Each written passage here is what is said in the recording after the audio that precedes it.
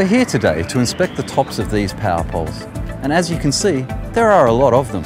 Due to the constant threat of bushfires and other natural disasters in rural and semi-rural areas, the inspection of power poles for storm or fire damage, accumulated wear and tear and other faults is a top priority.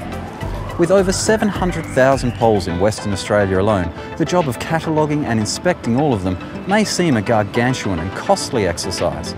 But the team at Cybertech have come up with a way to ensure the process can be done safely, efficiently and with amazing accuracy. Let's go see what the guys are up to. This is Mike. He's our pilot for today. And the device he'll be operating is this.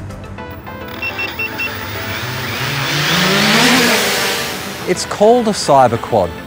It's a lightweight, thrust-controlled and remotely piloted platform that will allow for an incredibly detailed appraisal of the pole top, without anyone actually having to go up there.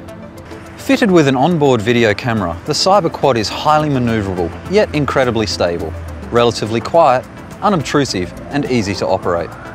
The process of inspection is a remarkably simple one.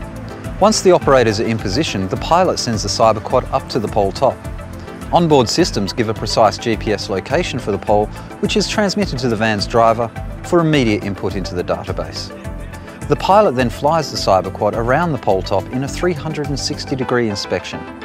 Video from the onboard camera is wirelessly transmitted and displayed on a laptop for the pilot to assess. With just the push of a button, he can take still pictures of the pole top from any point he chooses. A zoom function allows for closer inspection of areas of concern, eliminating any chance for error or oversight. During this process, the quad pilot conducts a series of visual checks against the list provided in the database, flagging immediate problems or identifying future issues.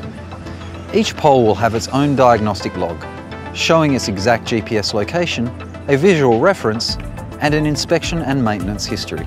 Once complete, the checklist and photos are downloaded into the black box database for transmission at the end of each day via the 3G network. Day-to-day -day updating of the main database ensures the information contained there is as current as possible and enables much greater accuracy in the collation and aggregation of data. The inspection complete, the operators simply move on to the next pole. The whole process can take as little as five minutes.